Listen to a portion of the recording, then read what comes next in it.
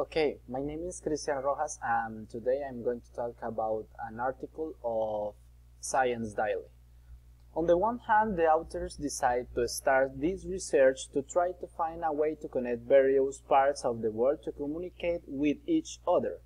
Through the use of synapses between artificial neurons and natural neurons, the process was carried out by cultivating rat neurons at the University of Padua in Italy. And at the same time, the University of Zurich created artificial neurons on silicon microchips using a configuration made by the university from Southampton. They send information and data through biological neurons and artificial neurons from Italy to Switzerland, and in the opposite direction in the same way sending signals in the form of spikes, realizing that biological and artificial neur neurons can communicate in a bidirectional way in a real time. Themis Prodromakis, the director of the Electronic Frontier Center at the University of Southampton, says that thanks to this new technology, the integration of different knowledge and use of, of technology that were previously very distant may be under the same roof.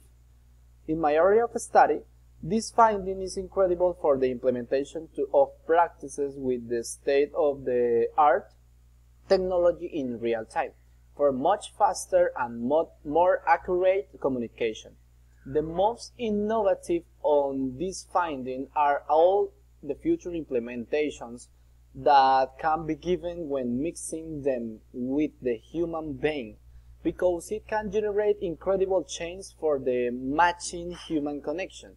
So this article uh, due to the mix it has with the bioengineering which is the branch in which I would like to specialize and the name caught my attention.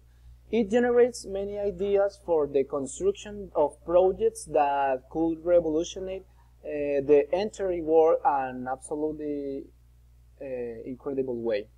In the presentation, artificial neurons versus biological neurons, uh, this picture explains uh, how the an biological neuron is connected uh, with an um, artificial neuron.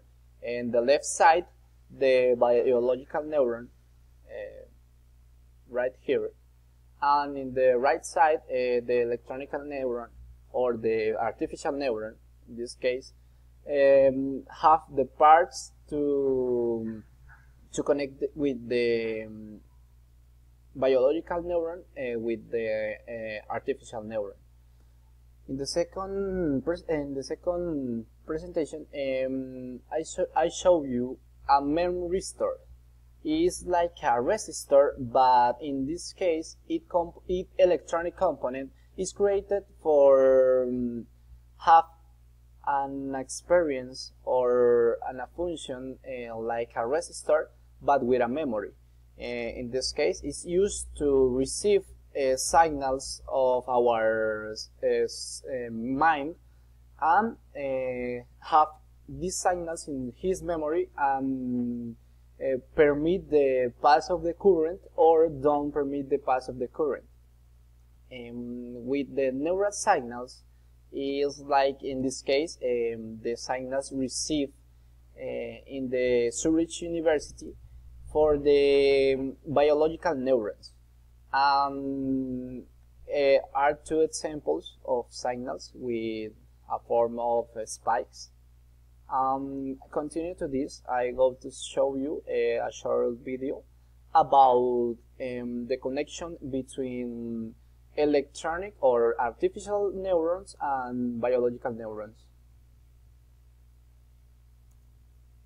Now we will see in brief the basic difference between biological neural networks and artificial neural networks. The first one is that the biological neural networks are slower than artificial neural networks. This is because biological neural networks include chemicals like neurotransmitters, whereas artificial neural networks work completely on electrical signals. Hence, the time of artificial neural networks to work is, is in nanoseconds. The second point is that the biological neural networks are fault tolerant.